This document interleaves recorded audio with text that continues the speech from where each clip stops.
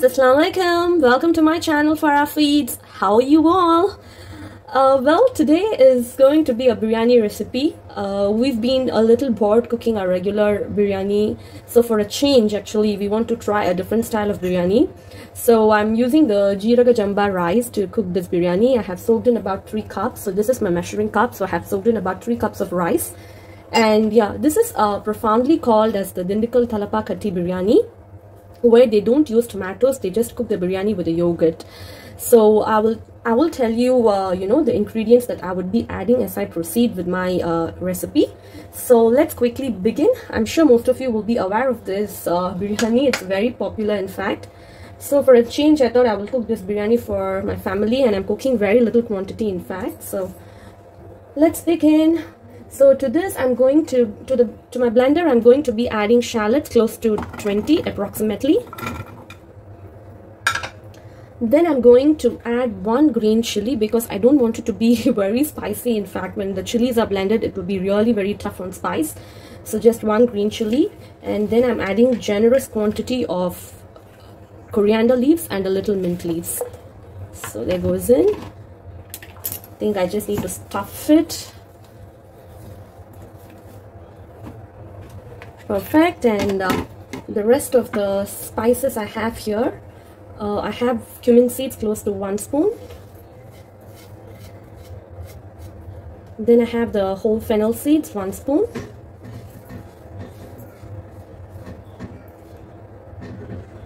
Then I'm having one black cardamom two cinnamon three cloves I'm sorry three cardamom and four to five cloves and then 2 spoons of the peppercorns. Alright that's about it. So we are just going to blend all these ingredients together for our recipe. And along with this I'm also going to add in about uh, 3 spoons of ginger garlic paste. Generous uh, spoon of ginger garlic paste in fact yeah so I hope you can see this. I'm going to blend this and get back to you soon. A quick note be generous with your ginger garlic paste. 3 spoon is generous quantity. If not 4 spoons is mandatory for this recipe. Perfect friends. So I have you know kept my water to boil here first. So let it keep boiling and I have added close to about uh, one and a half spoon of salt to it. So the rice is soaking there. We have blended the spice mix as well. So all good to go. Let's begin with the recipe quickly i'm adding close to 100 ml of oil. This is for about half kg mutton. I'm using three cups of rice. So it will be just nice to serve one meal.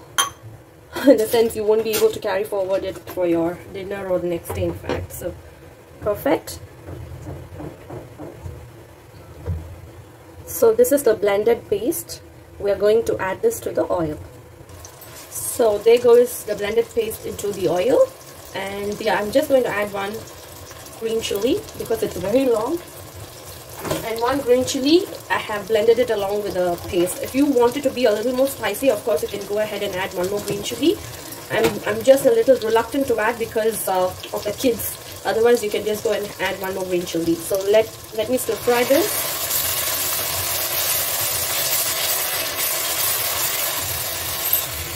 To fry this until the raw smell evaporates. The flavor is too good in fact. Because of all the different spices that you add, it gives a complete different aroma to the biryani. It's not like the regular biryani.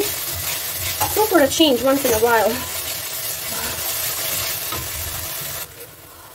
Uh, a quick note friends, while you're frying this base masala, don't move from your place it will easily get burnt, so keep stirring this constantly until you completely fry them. There goes the base masala. I have stir fried to complete perfection. So the next ingredient would be our important mutton. So I will add in the mutton.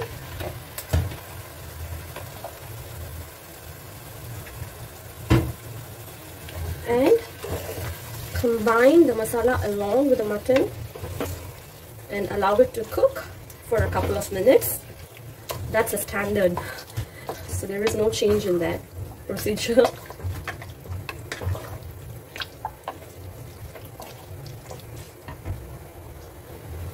okay, to this we will add a pinch of turmeric. And then one spoon of coriander powder. I mean one generous spoon of coriander powder.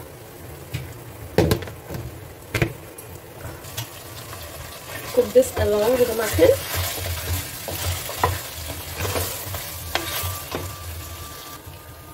important are salt. Adding about one two three. At this point of time later on we will check and if more salt is needed we will add it. Perfect friends. All my tossing is done so i'm going to add in yogurt one uh, glass of yogurt. It is close to about 150 ml of yogurt. As i told you earlier uh, i'm not sure if i told you but for this recipe we don't need tomatoes. Yogurt is the only flavor so we are just adding a generous quantity of yogurt close to 150 ml. All right perfect. So all the ingredients i think we have added. And let's add in the water for the mutton to cook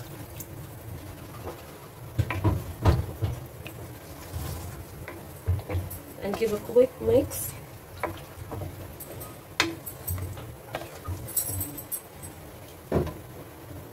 All good friends i'm going to pressure cook this mutton and then i will get back to you soon. Welcome back friends. So the biryani gravy is ready. I'm just adding two of this quantity of coconut milk. Two spoons of coconut milk. Not much. Perfect and some fresh mint leaves. And I'm going to add in two extra green chilies because I checked the taste. I think it wasn't very spicy though so I'm adding two green chilies. So to remember uh, initially we added two green chilies one for blending then one green chili and now we're adding two more. So totally four green chilies into this gravy so I'm going to uh, mix the rice and get back to you soon. I have already uh, cooked my rice to 3-4 consistency. I have extracted all the water and kept it aside. I'm going to mix the rice with this biryani gravy and then we are going for the dum procedure. Alright, so I have mixed the rice well with the gravy and finally a little quantity of ghee. I usually don't prefer a lot of ghee in my biryani because it will make you feel so heavy that you won't be able to eat. So, 4 ghee spoons is the quantity what I'm adding. A little ghee and I'm going to close this don't forget to place your tawa at the bottom. I have already placed the tawa for giving the dum in the bottom. So there goes. We are not going to put any whistle at the moment. Instead, we are just going to, you know, keep a glass over. Well, I'm just going to cover it up with a tanda. So leave it in sim. Perfect. And uh, let this dum. I think it's going to take about roughly about 20 to 30 minutes uh, and I will get back to you soon once the biryani is ready. We are looking forward to, in fact, can't wait, really hungry. See you soon, friends. Welcome back, friends. Well, the Thalapakatti mutton biryani is ready. So I will quickly transfer this to my dish plate and I will show you.